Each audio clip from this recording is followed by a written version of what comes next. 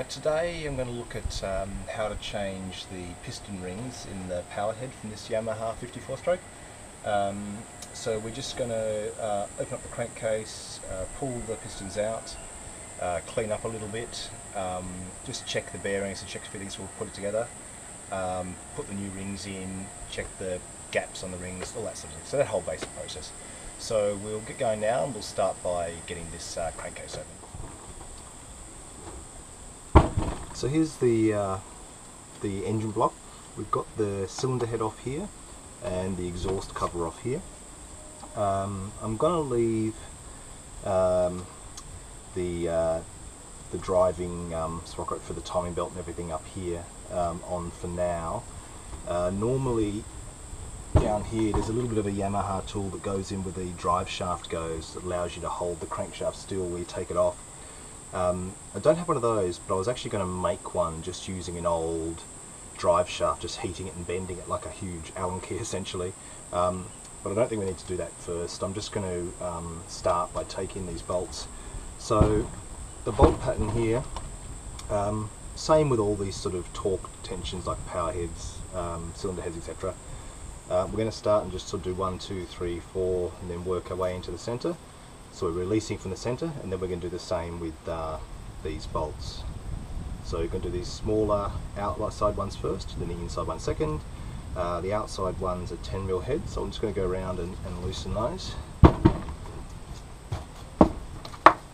I'm going to be lazy and use the uh, impact wrench for these. Um, not with a 12 mil, with a 10 mil. Um, I um, hoping we're not going to have so much trouble with corrosion here as we did lower down. So I'm hoping not to snap any of these. But just work all around in this spiral pattern. Working towards the center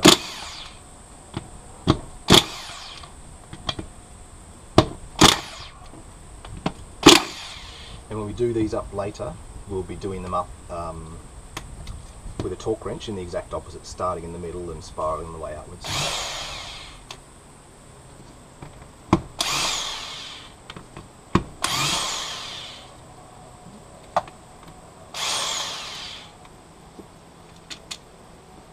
Oops.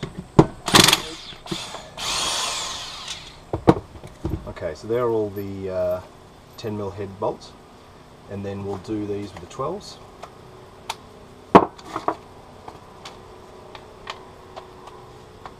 And same idea here, just one, two, three, four, spiral in.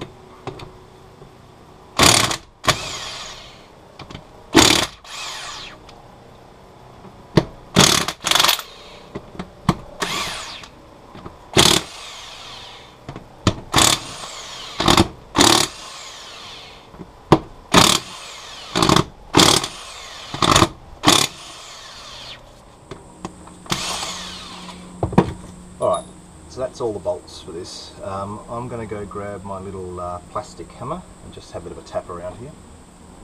I'll actually also, while I'm there, I'm going to grab a little pry bar as well. So I'll get the plastic hammer and a pry bar.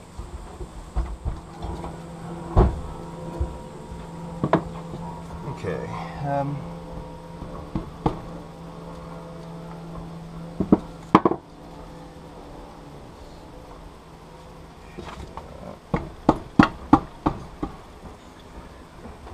don't want to uh, really pry this too much anywhere with those mating surfaces. I want them to stay as good as they can.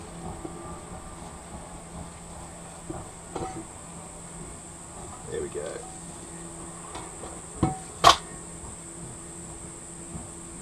a little bit of gasket maker in here.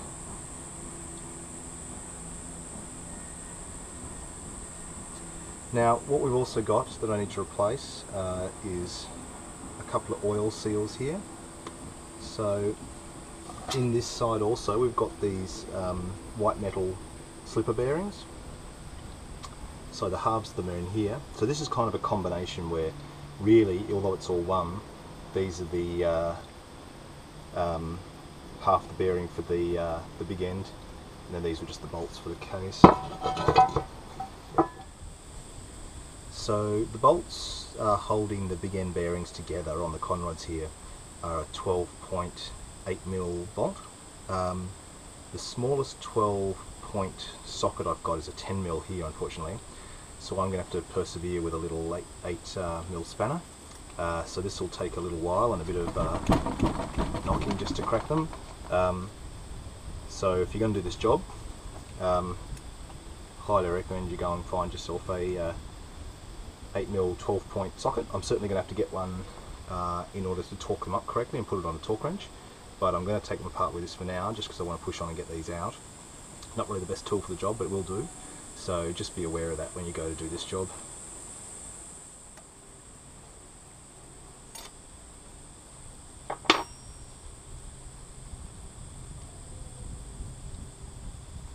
So once you've got these bolts out, you'll notice they're pretty sort of spiral here. Um, you can get this slipper bearing out and then this con will be free. So I'm going to go and uh, take all of these off and then I'll be free to lift the uh, crankshaft out. Um, same with the um, uh, valves took out that way. I'm going to take a note of uh, which cylinder these will come on. So this is the top of the engine, so this is cylinder 2. So I'm going to keep these in order so I can return them to the right place they came from.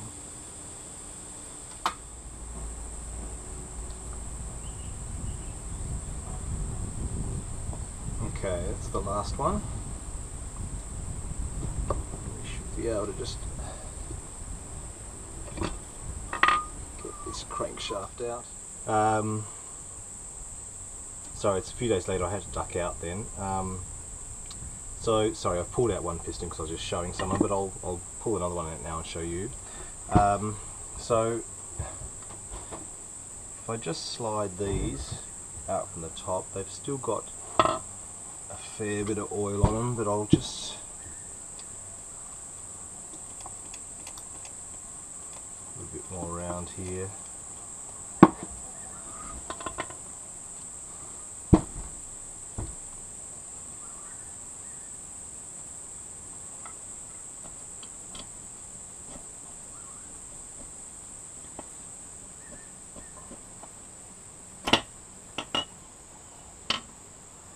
So once you pull these pistons out, um, it's important to know what comes from where. So at the moment I've got uh, bagged up the top half of the big end bearings and I've just put little uh, scratches on the back surface of those just so I know which is cylinder 1, 2 and 1, 2, 3 and 4. So I've got those marked. Uh, these pistons are marked with which way is up, see with the word up intuitively. Um, but I still need to mark these. So I know this is cylinder 1 and this is cylinder 2 I've just pulled out now because we are starting from the top of the engine. Um, but it's important to get everything back where it came from. Uh, so this surface you're pretty free to to score up. I was just using a bit of a mark here so I can just call this cylinder 1 and I'll just put a couple of scratches here for cylinder 2 this isn't a you know, precise surface. I'm really just scratching into the carbon to be honest with you. Um, now, what I am going to do though, hang on, I'll just grab some gloves uh, and I'll show you. But um, I've got some new rings. It's not immediately obvious to me um, of the two top sort of compression rings, um, which way they go round. They're a slightly different profile, but the profile they have doesn't match the um, images in the service manual. So I'm actually just going to have a quick look at what these rings were like. So we'll have a look at these, I'll compare them to rings we've got, and that way we just know what we're trying to replicate when we're putting the new rings in. Okay, so we've got this uh, ring out now, and I've got these uh, ring pliers. They're not uh, they're not ideal, I don't think, because they don't really hold the ring particularly stable while you expand them, but uh, they'll have to do for now.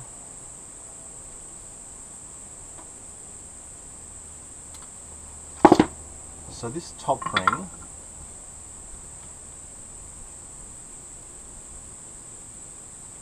looks to me to have a pretty square profile on it. Um, the service manual shows this top ring as having a a rounded profile. Uh, so the ring itself seen edgeways, the outer surface is quite rounded. Um, it's definitely not the case with the ring that's come off and the sets of rings I got from Yamaha um, so you've got your oil ring and the two at the top and then here we've got one that looks like it's very square and one that's uh, kind of beveled a little bit on both outer surfaces. So I think I'm so this one I would say matches the service manual image of the top ring the most but the top ring that just came out looks very square to me. Um, I'll just um, quickly show you the service manual I think that's probably so you can see here this is the section on um, both the profiles of the the sets of rings um, but it's also about um, looking at the top side clearance, how big is the um, is the the groove in the piston compared to the ring. So i.e. this distance down here, A, B and C. So I'll be measuring those once I get them in, once we clean them up. Um, but I'm just sort of trying to match these profiles. And nothing here is obviously square, so I'll see if we can find one that's got this slope. The one with the bevel both sides, I'm presuming is what they're calling the rounded one. Um, the oil control rings are pretty obvious. Um, so I'm just trying to differentiate these two. They're not clearly marked in the box. So I'm just going to get this second ring out and uh, compare them. The weights of the rings are quite different as well as the, uh, the profiles. So this second ring is uh, definitely both thicker and taller.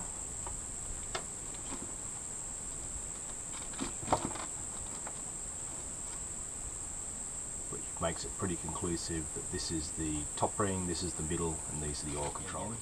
Um, so I'm going to go ahead and take all these out. Then I'm going to clean the grooves. Now I've seen quite a few different techniques.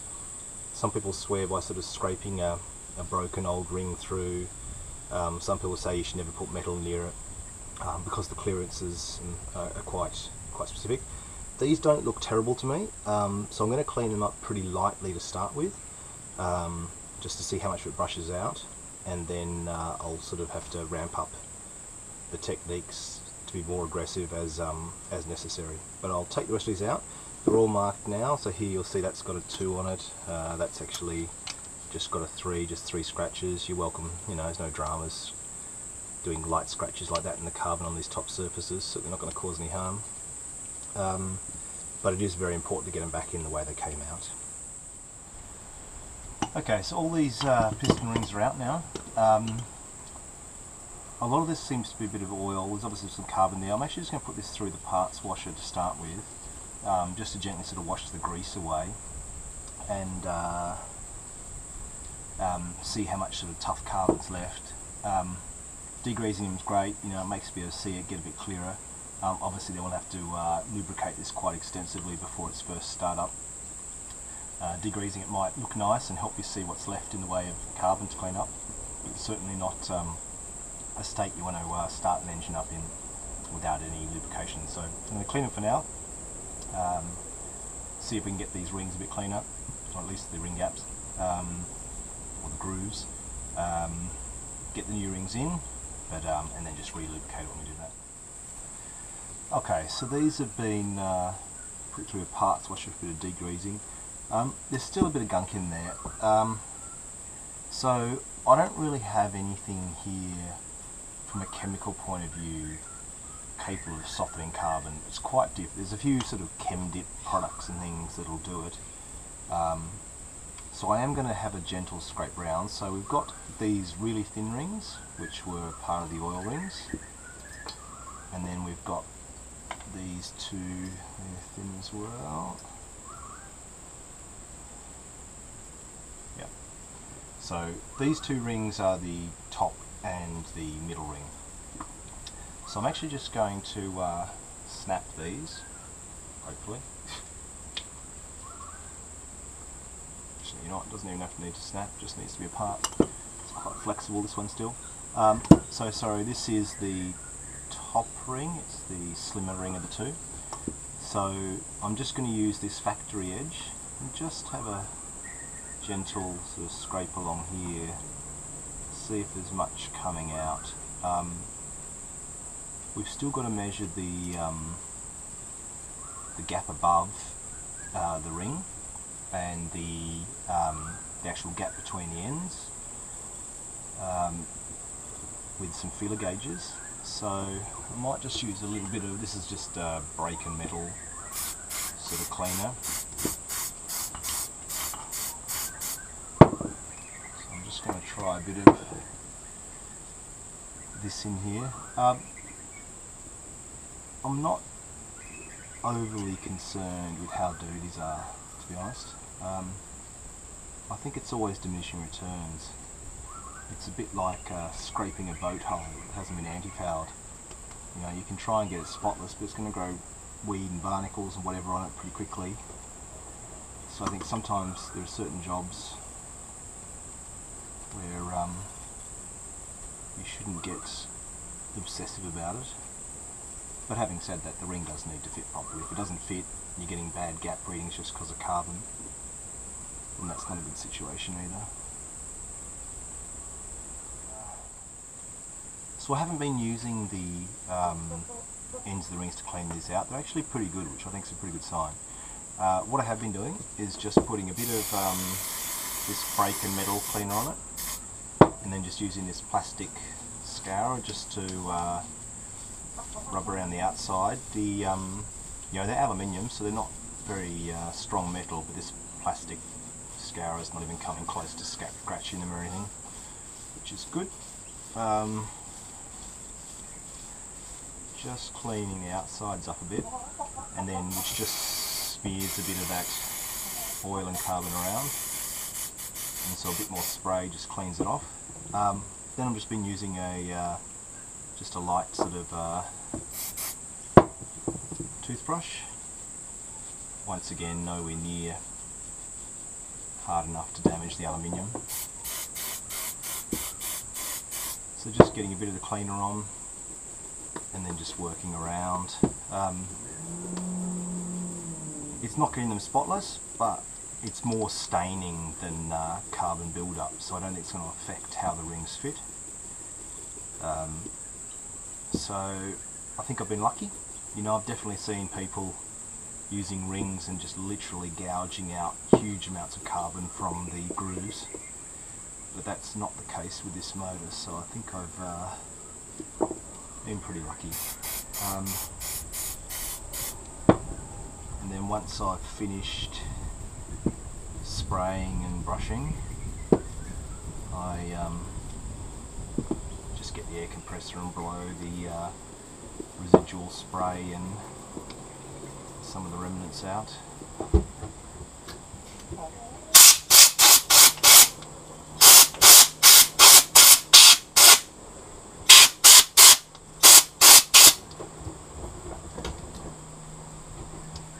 So I'm pretty happy with these. I think these are, uh, you know, as you can hopefully see, they're pretty clean. They're not shiny, they don't need to be. You know, you just need it to fit. You don't need to spend hours and hours trying to get every little stain off them. So uh, just going to probably just blow these out a little bit, get some residual spray and gunk out, um, and then uh, install the new rings on them. Okay, so before you put rings in, you need to uh, ensure that the gap's correct on them. Um, Okay, so to do this, I'm going to have a look. Um, so we've got our top ring here, and I'm just going to pop it in the cylinder and uh, spin it around a bit. A Bit of oil, I think ever hurts. We should just put a wipe around the cylinder. Then I'm just going to use one of these pistons just to push down until it's level and you can tell it's level by just using the uh, the ring groove as a guide on the piston. So once you've got the piston ring in and you've used one of the pistons to push it down, which is a way of making sure it's it's sitting square inside the uh, cylinder bore, you just put the feeler gauge in the gap in the ring. So this is a 0.3 which has got some resistance you know. It's a little bit loose I reckon uh, let's just have a look. Sorry doing this one-handed so a bit slow. What the next uh, size up on the feeler gauge is. Hang on I'll put this camera down. Back in a second. So it's quite tight. The 0.38 is quite tight but a 0.35 is just got a bit of tension on it so I think that's what's about it is uh, sorry, what I think um, the gap is. Um, so if you look here um, in the service manual, it's saying that uh, top ring should be between uh, 0.15 and 0.30. So this is slightly over spec. Um, I'm not super worried about it compared to the cost of buying oversized rings and all this sort of thing it's just not worth this boat's ultimately it's not a race boat or anything it's just designed to get from uh, one side of the river to another twice a day you know it's just a commuter boat. So yeah it's a little bit out of spec. Uh, better be slightly large I think because if it's if it's slightly over 0.35 uh, you've lost a bit of compression. Um, but if it's under then the two ends of the ring when the when the ring expands with heat the two ends are going to meet and the ring's going to sort of buckle which I think is way worse than being slightly over. Um, so I'm going to go on and do the same process with the second ring and the oil rings. Um, these can actually be up to 0.5 and 0.7, so we've got a bit more, um, bit more room there. So I'll do both those and I'll let you know how they go. Sorry, I had to duck off then and have a look at another job. Um, so I forgot what I last said to you, but the point is we're at the, we're at the stage now we're going to put these rings together. So I've measured these rings inside cylinder 1 and that's piston 1, this is, uh, sorry it's piston 2, so this one here is piston 1 for the mark on it. Uh, so now that I know these are all either within spec or slightly over instead of under, if they're over, uh, sorry if they're under I would have to file them back a bit but they're over so that's you know, it's not ideal, but it means I can leave, put them in as they are. So I'm going to pop these ones in now. Um, so the first one I'm going to put in is this um, expansion ring, which goes on the bottom. This one's pretty straightforward, you can very easily roll it around. The only trick with these is they've got these sort of concertinas and you don't want them hooking over each other, they just have to butt up against each other. So that's the only thing there. Now, above and below that um, go these oil rings. Now these ones don't have a top, um, top and bottom, as far as I can tell. They're not marked in any way, whereas the top two rings are actually marked with a T, uh, showing which way goes up. Uh, some some rings have a little dot, some have the word top. Uh, from memory, not that I can see it right now. These had a T on them. Oh, there we go. Yep. So that's got a T on that side and T on that side. Now, with these ones though, there are they are different. Uh, I'll see if I can show you this. So this one's just got square edges on it, um, and then this one, you'll see it's got a little notch in the ends here. Um, that notch goes around a pin um, that is inside the cylinder groove. Uh, so just here, you'll see there's a pin here, and that's what that notch wraps around. So this ring with the uh, little notch goes um, on top of uh, the um, expansion ring and goes over that little groove. Now one thing this does is it locates this ring so that it can have the gap, the gap can only be in one location. This, this ring can't rotate um, in its groove, it can only go in one place. So I'll just work this one down into position.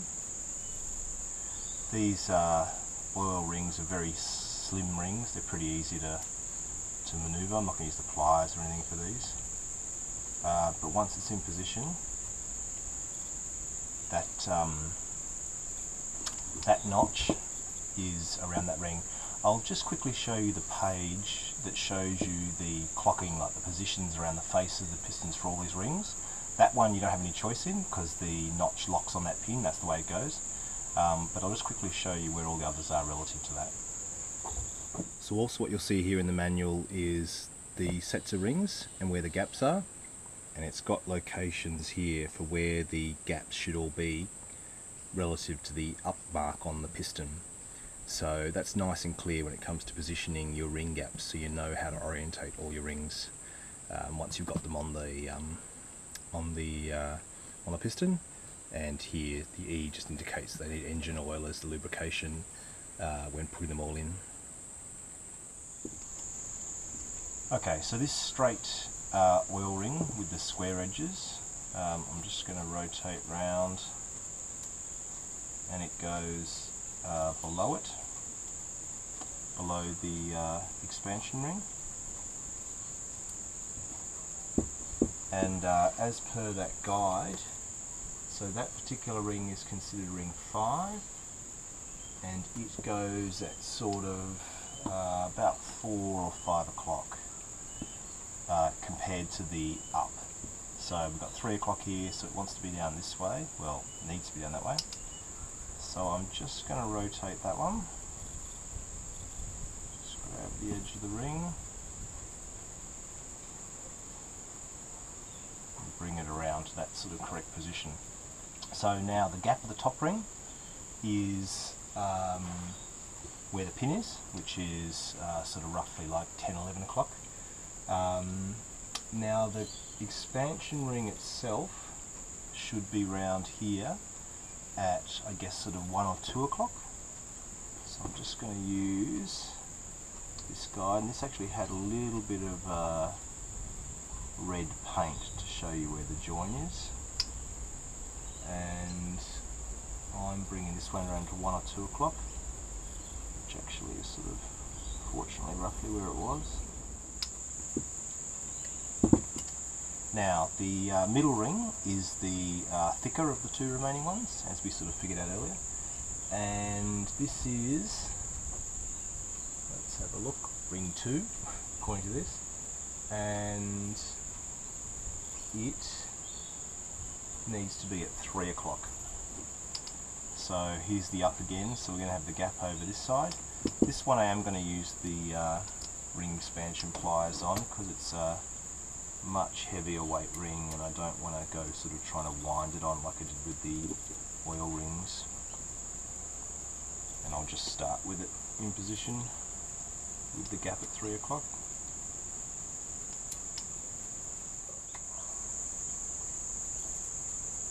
Okay and then the top ring goes at 9 o'clock. So over this way. Once again, although you can rotate these ones pretty easily, I'm just going to sort of start with it in roughly the right position.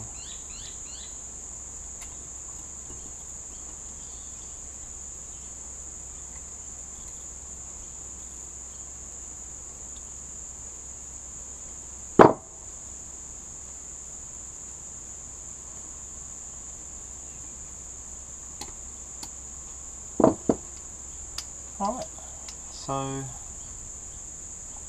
that's a full set of new rings on piston 1. So now I'm going to repeat the process. Okay, so uh, last piston now. I'll just go through this once more just in case I can uh, explain a bit more clearly for you. So first ring I put in is this expander ring and the gap for this ring goes um, at sort of about 2 o'clock. Now this ring once it's in can't rotate because the little concertinas on it um, catch on this, this locking pin that's on the bottom groove. Now, the next one I'm going to put in is the very bottom ring. Now, this ring, uh, number five, goes at, um, so if up is 12 o'clock, uh, this one goes at around about 5 o'clock. Uh, so these are really light rings, so I'm going to start with the gap at 5, and then I'm just going to wind this one on rather than using the uh, uh, ring expansion pliers.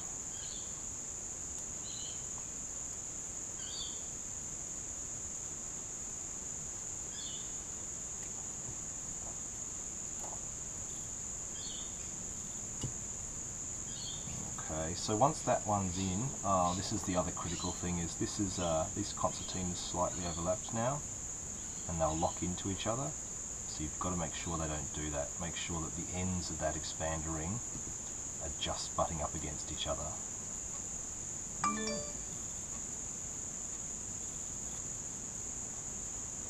don't want those ones overlapping at all. Um, now, the top oil ring is the one that has this groove and that locks into the pin.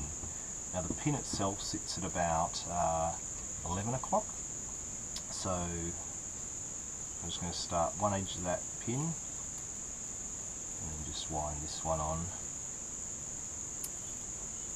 until the uh, little notches are either side. So that's the, uh, the oil ring and the expander ring setting. Now the middle one is uh, what they call ring 2 on here. Ring 2 goes at uh, 3 o'clock. Um, can't quite recall. One's going to be your air intake side, one's the exhaust side. Um, this ring has a top and a bottom and the top is indicated by the little T. So I'm just going to get that roughly in position, 3 o'clock, and then just use these ring expansion pliers just to open it up. Bring it down. So I'm trying to avoid scraping the ring along the surface, um, but if you have to manhandle a little bit just at the end to uh, get in position, don't think it's the end of the earth. Um, so the top ring now, once again, little T on top, and the gap goes at 9 o'clock, so the opposite side of the uh, piston. So we've got it right way up and the gap in the right position on the sort of clock face. Got to say I'm not a huge fan of the style of uh, of uh, ring expansion pliers, but I guess they're better than nothing. Alright, so that's the procedure. That's all four of them done. Um, now I'm going to um, just push them back into the cylinder bores. I might give those cylinder bores a bit of a clean. They're pretty good. You can still see the cross hatching on them. Uh, you might um, hone the cylinder bore at this stage, which is a relatively simple procedure. Um, I don't think I need to with these ones. I'm not going to uh, run the risk of doing more damage because I just don't think it's necessary. There's still quite a good crosshatch on them.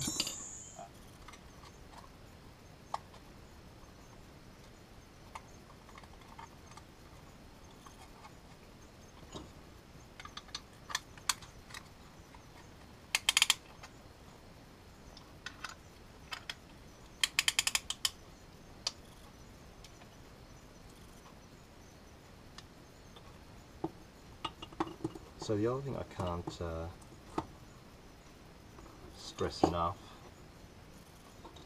as we just get this last one in is um,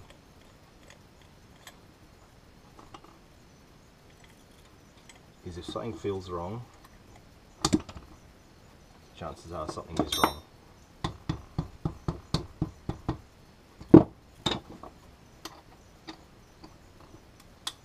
This really isn't a uh,